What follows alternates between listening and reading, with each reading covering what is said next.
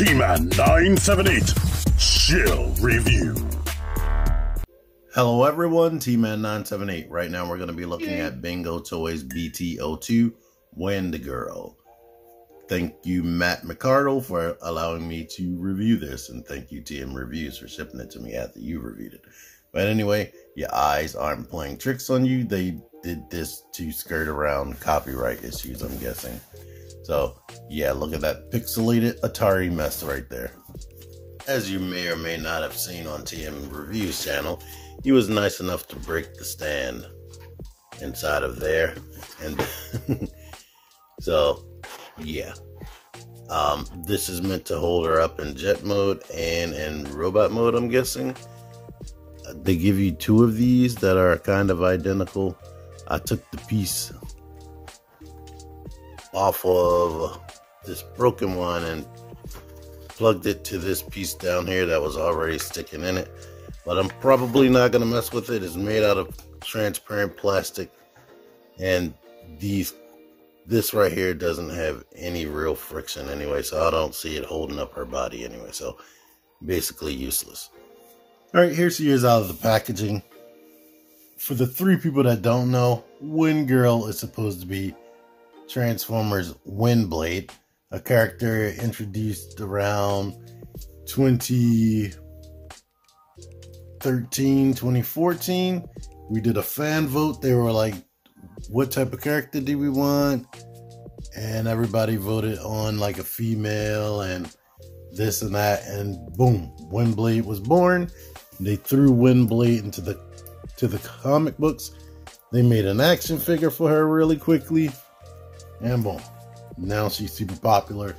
And now a third party company has made a stylized version of her that looks way more feminine and sexy, I guess. Here you go. I mean, no, she was already designed after a geisha.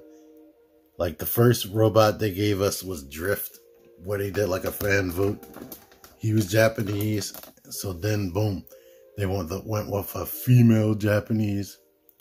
I don't know if these are right. So I'm wondering how much did we actually influence that? Because that's too coincidental. But anyhow, I'm gonna let y'all see some of these details. It's mostly black and red plastic with the translucent in her weapons that attach to her wings or her turbines, I should say.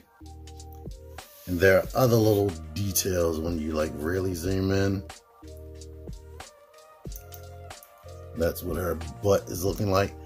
And mostly as far as diecast or anything, the diecast is in the joints. And honestly, I don't know if I like that.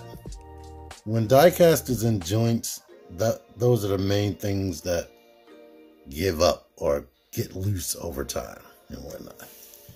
But you see her face right here. She has the shiny green eyes. She has this ribbon on the back of the head.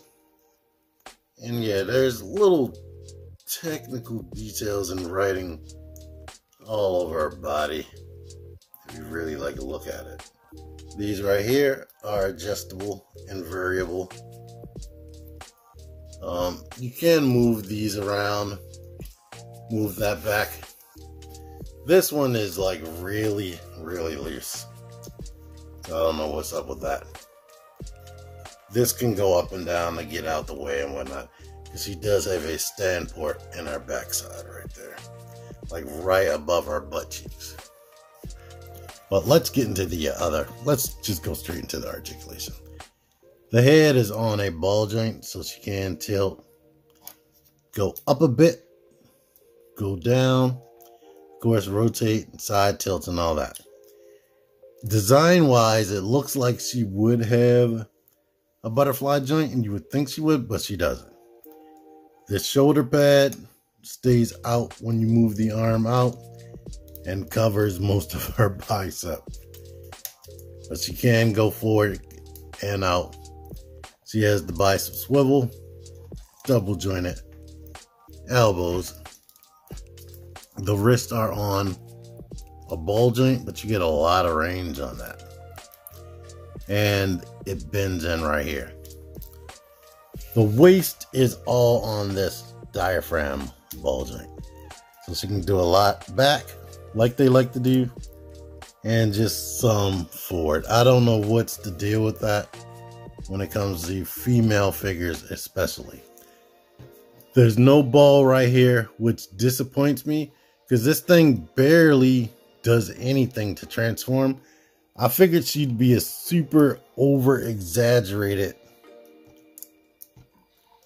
action figure with just some jet kibble on there. Like literally the only thing on this thing that looks like a jet is the cockpit and maybe these intakes. Like these don't even really look like wings even when you transform her. But um yeah, you've seen all this. These side panels get out the way so that she can kick out to the side all the way. There is no drop down hips, but she does bend right here and it is annoying trying to get that to snap back, which I can barely do. The leg can not really go back because of the butt sculpting, but she can kick forward 90 degrees. You get swivel in the thigh right here, which is scary tight. You get double jointed knees that bend up here I think this one's mostly due to transformation. And this is where the knee would really be. But if you want to bend all the way back, there you go. And this calf actually compresses. She has a bend here. And technically a rotation, but that looks ugly. You can't really use that. The foot, the heel actually pinches and go flares out that much. But the foot can go back, forward, and it's basically a universal joint. So you can rotate it to get her like infinite articulation right there on the ankle. I wanted to show her with both feet flat with the ankle pivot fully engaged. These swords mostly just peg in like these bottom ones. This actually grabs it right here between these two notches. But there's a little slot that this can fit in and another one deeper inside of there so that you can put that in there. With the swords, you see what they look like on the wings. I'm not going to waste your time with that. They just plug right into her sword grabbing hands. So you can see she is capable of getting into a pose where she's holding the handle with both hands. The handle isn't that long at the bottom, but she is technically still holding it with both hands. The face pulls off at the bottom. You just pull it off. There's a little rectangular plug hole in the back that you can't see right now because it's super dark. Just basically put it over top of that and squish. And now she has her new face on. This one, let me turn the light on. This one is her more angry war face right there. So that's cool. Here she is holding two of the swords before I move to anything else. Alright, several changes. Here she is holding the Korean love heart symbol thing where they put the fingers like that to represent a heart. She's using the open palm hand and she has on the joyful smile right there. And just in case, let me see if I can turn on the lights. Well, she has like a little gem in the center. Almost like that's the cockpit, but it's not. And she definitely has this defined boobs. If you couldn't see that when I was spinning her around before. Before I forget to mention it, I'm oh. using a Seeker, Masterpiece Seeker stand. It was difficult getting her on here. It's almost like the hole in her back is not standard standport size. This is a different yelling face than I showed. Like the other one was more of like the fighting face right there. But this one is her yelling like, ah! Lastly, here she is with the heart hands right there. So, yay. Robot mode is mostly good. She has the the standard articulation you would you would want in an action figure. My issues are the wings are a bit flimsy. Now, I'm getting this second hand because someone else already played with it, but it shouldn't. They shouldn't be as loose as as they are. I don't think. Like only thing keeping these pieces right here in place is the fact that the swords are in there. If the swords weren't attached, these things right here will be flopping all over the place. Um, like I said, this is a bit flimsy right here.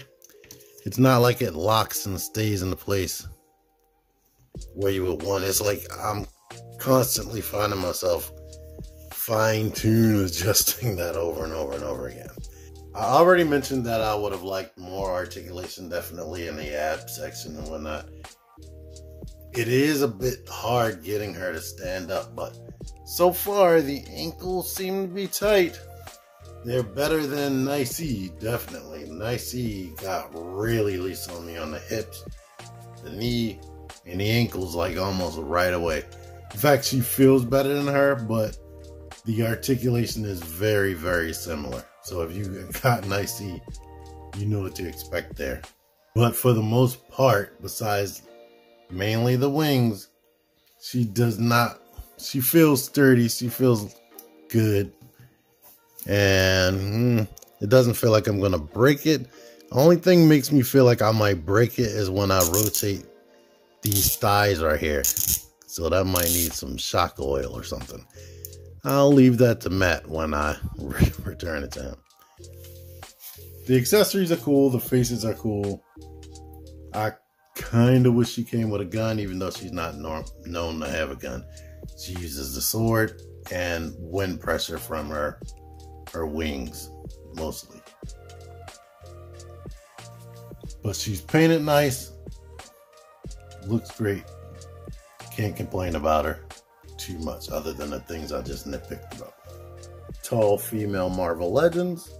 I guess typical female Marvel Legends, or maybe teenage. MP44 Optimus. What they like to call 2.0 Starscream Masterpiece. I kind I want to see a real full on G1 style masterpiece Windblade. That would be awesome. Make Toys Galaxy Meteor.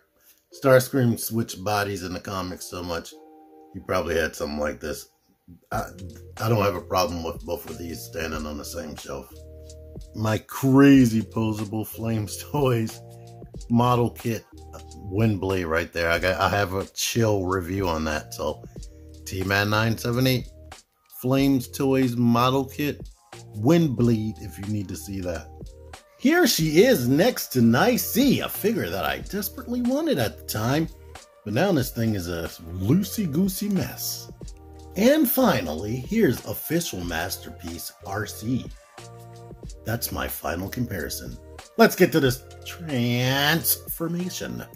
All right, the first thing I'm going to do is loosen this so I can pull this sword out. I'm going to loosen this so I can pull this sword out. I'm going to uh, loosen this so I can pull that sword out. I'm going to lift this up so I can pull that sword out. Now, these swords are actually kind of tabbed in. So you've got to kind of like press up against it to unwedge it. And there you go with that. Same thing over here. La-di-doo, la-di-da. Get that up out of there.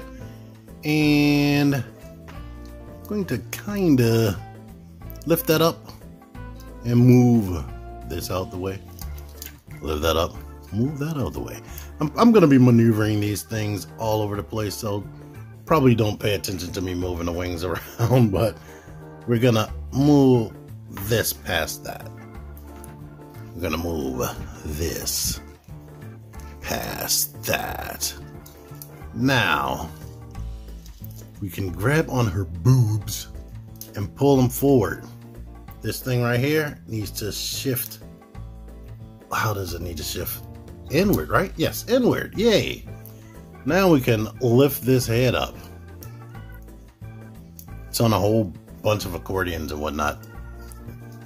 Back here is another hinge that we can lift up a bit. Once we lift that up, we can actually rotate this down into that orientation right there. Now we can go ahead and flip this around and you know what? Push this hinge back. Push the hinge. Which way did the hinge go? The hinge goes up. could move this into place, but it's probably going to move out of place. The boobs. The boobs can come up and peg into there. All right. The arms. The arms need to trying to stay in the light. Let me turn this light on. They need to shove up. And then the hand, the wrist, well, they need to rotate this way. And then this joint can bend this way. And the fist needs to be out with the fingers outward. So let's do that again on this side. Shove this up. Rotate that out that way so that this hinge can come out, this come back, and this can go that way. And now,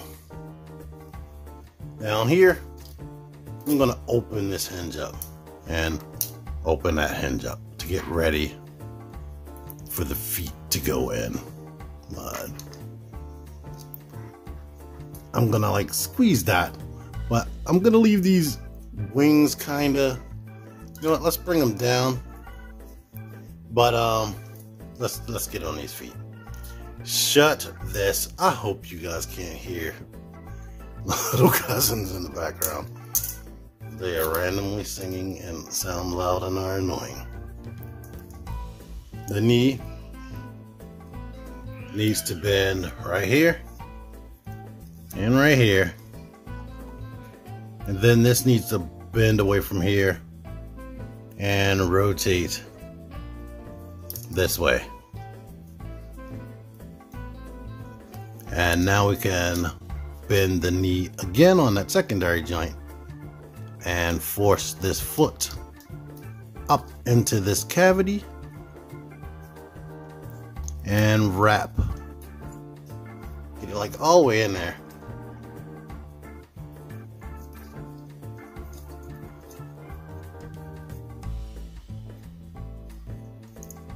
I'm moving it past this opening right there. So now there's in there, we can shut that. Let's try that again over here. We're gonna bend this, rotate it that way,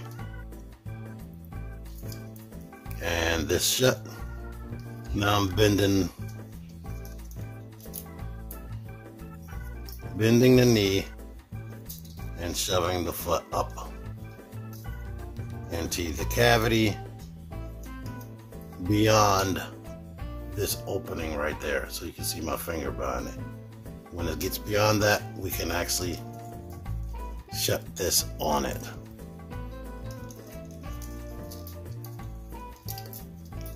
Are you shut or you should.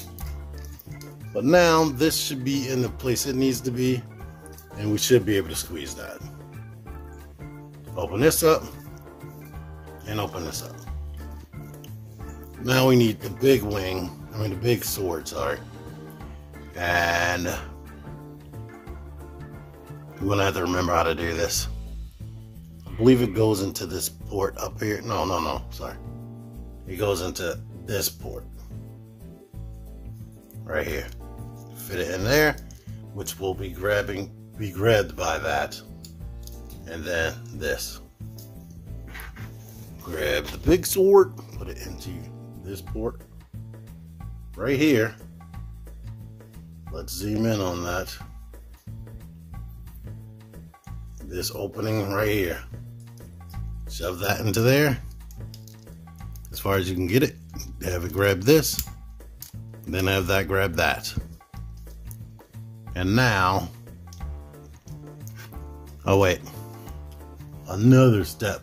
These hands need to actually fit inside of there. I did not do that. So,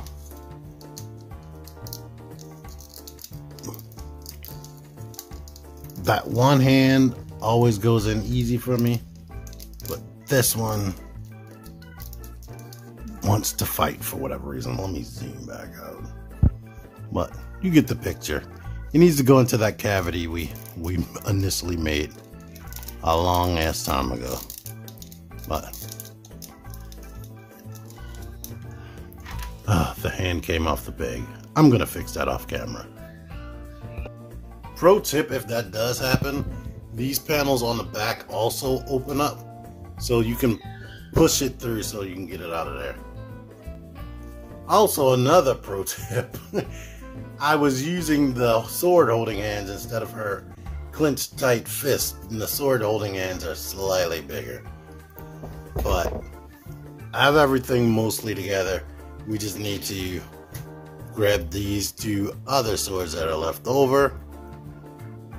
This one basically has a peg right here that needs to slot into here. And then we can take this sword, overlap it, and peg it in there just enough. Those pegs are scary tight, and I don't want to risk breaking it. So that's why I went ahead and did this first. Like normally you would put them on at the same time, but I'm gonna put that one in first.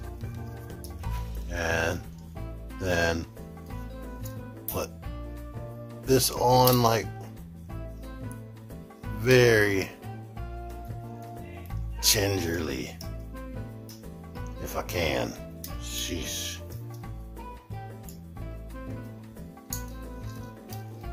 But you get the picture. I'm wasting so much time. It's in there. Now we're straight. We have that together. And basically, here she is. She is a jet of some type, a flying vehicle. This is her alt mode, I should say.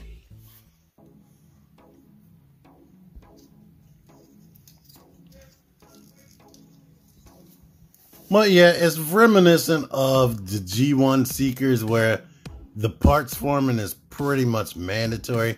You can transform the G1 Seekers without taking off their wings, but it's almost mandatory. But it turns into something that almost looks like a jet or maybe something that's actually alive. Now, these wings back here kind of look silly, but they give off the silhouette of what it should look like. And I don't know, it just looks like something that would be on Galaga or something like that, or some type of space shooter. Like, she doesn't even become an Earth vehicle anymore. Features this cockpit actually does open. And it has these in there.